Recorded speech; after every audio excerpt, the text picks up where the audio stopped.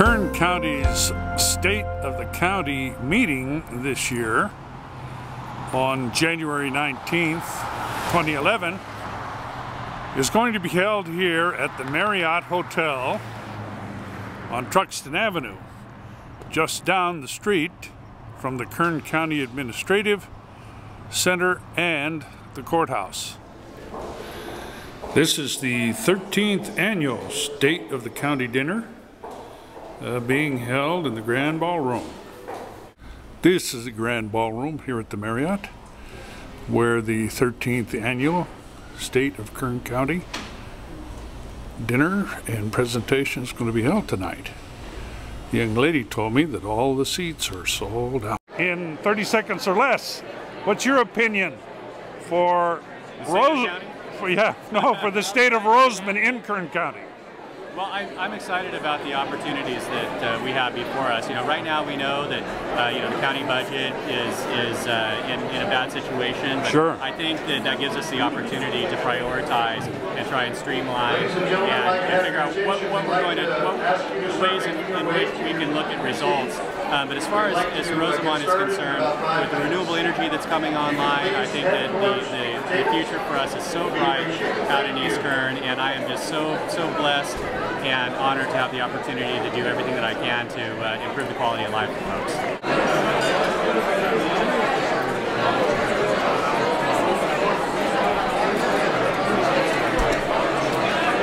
You are here assisting the Rosamond High School mock trial team, aren't you? Yes, I am. I'm an attorney volunteer for the Rosamond High School mock trial team. And how exactly are you helping the mock trial team? I'm mostly uh, helping the students uh, focus on themes for opening and closing statement, uh, basic courtroom procedure, and questioning for the witnesses in preparation for their uh, competition. Do you enjoy what you do, Mrs.? Um, I do. Uh, I have to say, with practicing law, there is never a dull moment. There is no such thing as a typical day, and so you're you come in each day with a whole new set of problems and a whole new set of solutions. And are you looking forward to um, what the Rosamond High School uh, mock trial team has to offer during the present uh, pre presentations? I am. I'm seeing a really good start uh, as far as the draft questions and opening statements, closing statements are concerned. Uh, students are working really hard, so I'm very excited to uh, see what the final product will look like. How do you think that you guys did yesterday in the game? Pretty good. We beat them by like 31 points. We smashed. How has the season been going so far for the JV girls? It's been going pretty good. Couldn't ask for anything better. Um, how about the game last week against Desert? Um, it was pretty hard, but we beat them.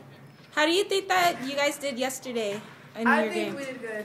We actually beat them pretty bad, so I think we're going to be a great team, and I'm pretty sure we'll do a good, great all season. How has the JV girls season been going so far? It's not too bad. They're still learning. We're kind of a fundamental squad, but that's what you expect from freshmen and sophomore, especially when we don't have a program, uh, a youth program, basketball program with the uh, middle school. Um, how was the win against Desert Friday? It was great. It was great. Everybody played really well. Uh, they really wanted that uh, win. You know, it was a crosstown rivalry, but more importantly, the girls played hard. Okay. Ricky Webb had a very good game that day.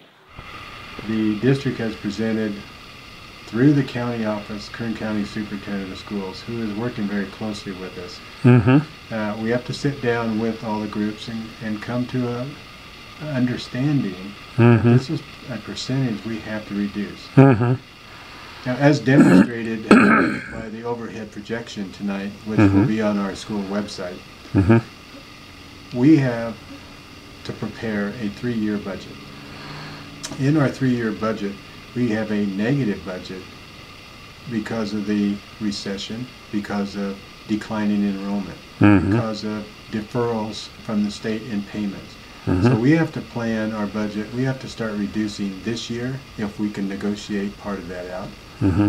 Another number of at least two and a half million the following year, and Mhm. maybe another two and a half million the year after that. So it has to be a plan in place. Mm-hmm. I believe our staff is up to the task, Mm-hmm. and I'm look encouraged by it. I'm looking forward to it.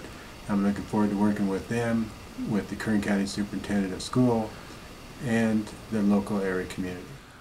A problem that occurs is the new government, our governor and members of the legislators, they have to come up with their own budget and how to reduce their part. Mm-hmm. Since the state is in some needs of funds, uh, it's going to affect a lot of areas, and school districts are going to have their fair share of effect. The problem is, is that a lot of it's going to be deferred back onto us. If, and what I mean by that is the way it reads and the way it comes down, the way the instructions come to the school districts, is that if voters do not pass the extension, we are looking at it in excess of $2 million added to the $5 million reduction in two years Mm-hmm. which means now now our now our task becomes a close to an impossibility. Mm-hmm. Uh, we have to plan two different budgets for a three-year projection. Mm-hmm. One, if it stays status quo. Two, if taxes are not approved by the voters, Mm. then we have a, another budget to approve on that one. Mm-hmm. So we have to come up with two plans. Mm-hmm. Worst case and worst worst case. We have uh, finished completing the Copper Mountain addition, and so if you look on, the- on the slide, the part on, on the right is the, the natural gas plant. The part in the center, in the yellow, is the, the ten megawatt plant. And the, the new addition kind of wraps around that with the apron, and that's Copper Mountain. This map is just to orient folks to exactly where our site is located. Um, It, it is about a half a mile north of the LA County border, north of Avenue A. And the main parts of the site are between 135th Street West and 150th Street West and on the northern uh, border is Kingbird Avenue, so that's a mile south of Rosamond Boulevard.